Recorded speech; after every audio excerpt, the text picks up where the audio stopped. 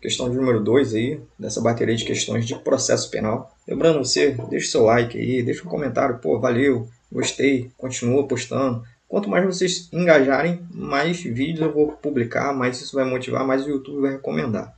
Beleza? Então vamos lá. No que se refere à lei processual penal, no espaço e no tempo, julgue os itens que se seguem.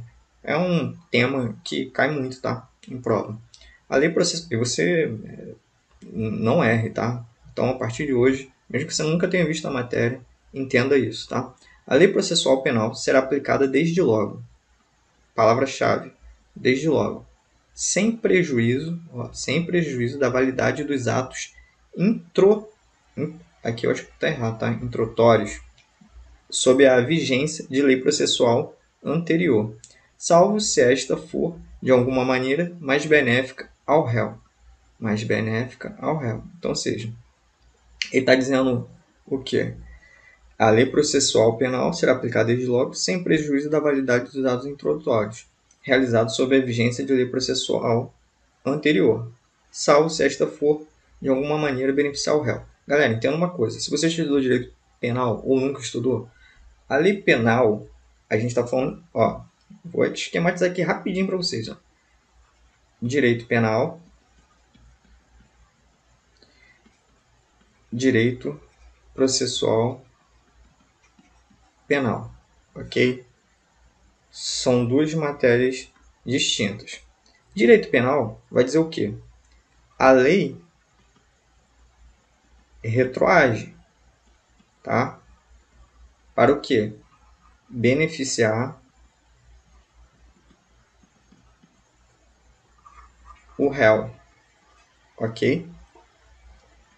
É isso aqui. Direito penal é isso aqui, resumidamente. Direito processual penal, a gente não se fala em retro, na retroação da lei. A lei não vai retroagir, tá?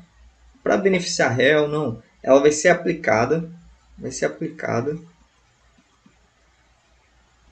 desde logo. Grave isso aqui, tá?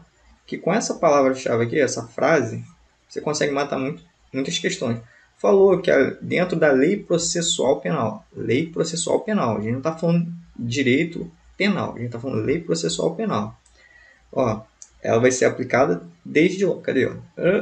Desde logo.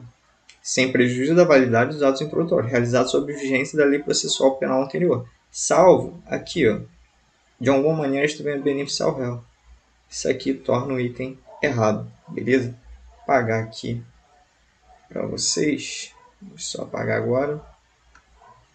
Vamos lá ver. Ó, a lei processual não retroage.